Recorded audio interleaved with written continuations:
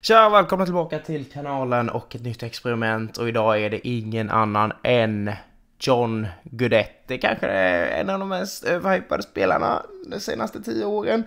Hade en bra säsong i Feyenoord och sen dess har han i stort sett inte presterat någonting. Han var väl helt okej i U21. Var det VM eller EM? EM antar jag. Eh, I alla fall, han har ju suttit på bänken nu i Alaves sen eh, tre år tillbaka hade en utlåning till Hannover, men det har ryktats flitigt att han ska återvända till allsvenskan. Eller han har aldrig spelat, jo han har spelat i allsvenskan, att han ska återvända till allsvenskan och eh, då till AIK, som han tydligen är ett stort fan av, även om det kan vara lite eh, tvetydigt om det stämmer eller inte. Men det vi kommer göra helt enkelt är att vi kommer simulera tre år in i tiden, ett år i taget och kolla hur det går för den gode John i allsvenskan och se om han kan ta AIK till toppen och eventuellt ut i Europa. Eh, om han presterar bra kommer han få någon plats i, eh, i landslaget. Statsen ser ni framför er, 11 i avslut. Wow! 16 straffsparkar, han har bra beslutsamhet, förutseende, spel utan boll, hyfsad fysisk eh, närvaro, bra styrka, 1,85 lång, tjatar på domaren,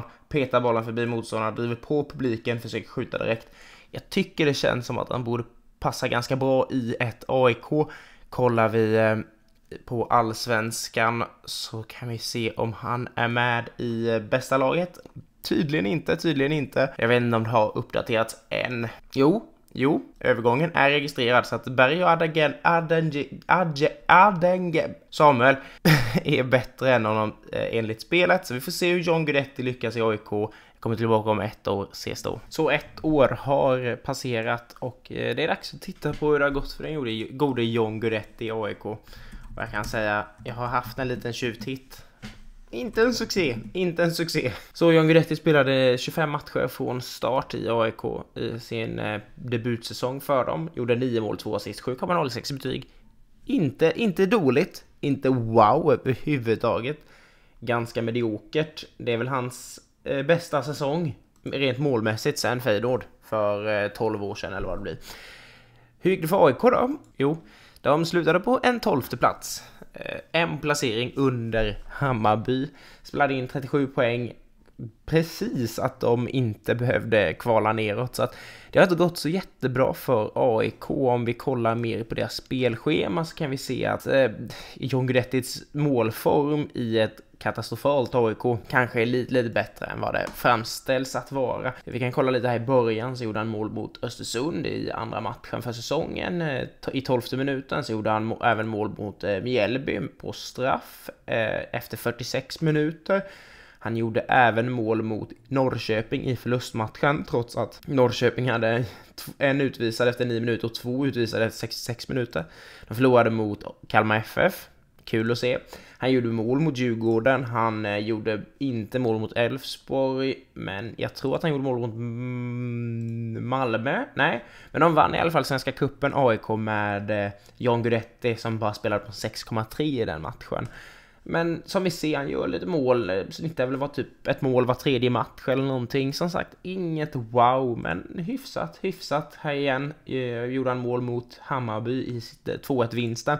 Och de började ju faktiskt säsongen helt okej, okay, men det är andra halvan som riktigt, när de började spela Europa Conference League, Path, andra kvalomgång, match 1-2, 1-2, 1-2, så blev det lite, lite mycket för deras truppbredd, vilket gjorde att de tappade i ligan och i Europa Conference League. Och det kan väl vara ett, en av anledningarna, det kommer inte vara ett problem inför nästa säsong när Gudetti och AIK inte kommer spela i Europa. Eller jo, det kommer de ju eftersom de vann Svenska kuppen right? Som vi ser här i Svenska Cupen än så länge så har John Guidetti inte spelat från start. Han har mer varit en inhoppare. Eller jag tror i alla fall inte att han har, kanske att han har gjort det, men han har i alla fall inte gjort ett enda mål i Svenska Cupen än så länge. Men jag kan säga att de är i final ännu en gång. Vilket är ju, de är Svenska Cupen-mästare lite som typ Arsenal i Premier League.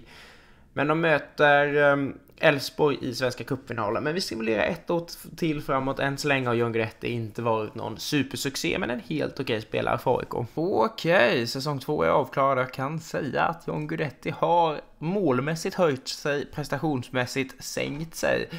Han har denna säsongen, den gångna säsongen, 28 matcher, 15 mål, bara en assist istället för två och en, två stycken man of the match, alltså en 100% ökning.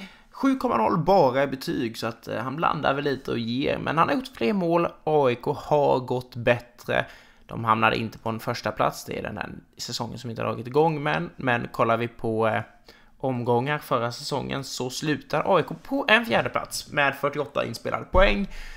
Om vi kollar på deras spelschema så började det är väldigt fint. Han gjorde inte mål i första matchen, men så gjorde han ett mål mot Häcken tänkte jag säga. Nej, han gjorde mål först mot Elfsborg. Är vi rätt säsong? Ja, det är vi.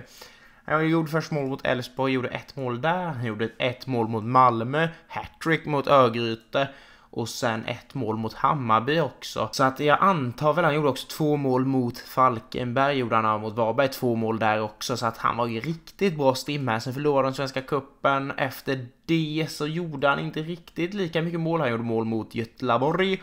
Han gjorde inte mål mot Djurgården. Helsingborg gjorde han mål med, så att han spelade ganska bra. Så många mål som han gjorde här, så ja, AIK tappade i ligan i slutet. Vi spelade väldigt, väldigt dåligt. Så jag antar att han inte gjorde så jättemånga mål här. Någon som jag sett har gjort väldigt mycket mål på spelet, det är Stefanelli. Säger jag när han bara gjort nio mål. Jag tycker jag läser hans namn hela tiden. I alla fall Gudetti gjorde 15 mål i då Svenska Kuppen. De verkar inte Jag trodde att de skulle kvalificera sig till Europa via Svenska Kuppen. Är det? Nej. Nej, det här var ju den säsongen. Säsongen som vi gick igenom. Så att det, de kvalificerade sig inte till eh, Europa via Svenska Cupen. Eh, John Guidetti, om vi går in och kollar honom igen, så har han varit lite skadad nu. Går vi in på hans skadehistorik så har han inte varit så jätteskadad. Det har varit lite småskador hela tiden. Eller inte hela tiden. Han har inte spelat någonting mer för Sverige, vilket jag kan typ förstå. Kollar vi på taktiken så denna... Ja, vi kan inte kolla försången. Det är sög. Men han har kontrakt till 2025 så eh, ett och ett halvt år kvar på sitt kontrakt. Kan AIK pusha mot en eh, ligavinst? Jag vet inte.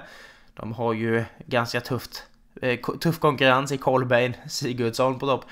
Men vi kommer simulera en sista säsong fram i tiden, se om AIK kan vinna allsvenskan med John Guidetti. Det ser inte jättelovande ut just nu, men eh, you never know, you, ne you never know. Och igen då, John Guidetti, har han eh, presterat på något överhuvudtaget imponerande sätt för sin status inom den svenska sporten? Svar? Nej, inte alls. Minsta målen under en säsong hittills i AIK. 7 mål på 27 matcher, 6,9 i bety betyg. Ja, det är inte imponerande va? Det är inte imponerande. Han har inte fått några fler landslags... Matcher under bältet. Föga förvånande. AIK då, hur gick det i Allsvenskan för dem den senaste säsongen? De kom på en sjätte plats, att eh, gick eh, sämre än tidigare. Och vad är det jag ser? Vad är det jag ser? Kalmar var nere och vände. Alltså, de var nere och vände i Superettan. Vem hade kunnat se det? Vem hade kunnat se det? Ja, förlåt, nu blev jag sidetracked AF, men eh, AIK kom på en sjätte plats på 45 poäng med målskillnad på 1. Så att eh, Guidetti är inte jättebra för AIK. De har kommit till en Svenska cupen-final igen nu mot Norrköping. De slår ut Vasalunds eh, i gruppspelet. Varberg, Brage, Östersund och Falkenberg. Så en riktigt tuff eh, cup, cup-run. Men eh, ja, till skillnad från de tidigare säsongerna tycker jag att de har börjat väldigt dåligt denna säsongen. Bara tre vinster på deras första, vad blir det, 12 matcher. Mycket förluster och oavgjorda gjorde den goda Guidetti. Guidetti gjorde mål mot Jönköping Södra. Imponerande. Och några andra matcher. Ja, han gjorde mål mot Häcken också. Några andra vinstmatcher där. Också Halmstad. Jag har inte gått igenom de matcherna så det är ganska insane att jag prickar ut dem ändå. Guidetti igen Häcken. Han gjorde mål där också. Och sen gissar jag på att han gjorde mål mot Norrköping. Oh my. Oh my. Han gjorde bara sju mål i ligan och jag prickade ut sex av matcherna han gjorde mål i. Det var ganska insane faktiskt. Han gjorde inte mål mot Göteborg. Nej, nej, det gjorde han inte. Men det är väl egentligen allt, inte mycket mer att eh, glo på. Han har blivit vicekapten för AIK. Eh, Milosevic har gjort någonting som han aldrig har gjort innan tänkte jag säga. Eller sen han började, han har faktiskt stannat i AIK nu.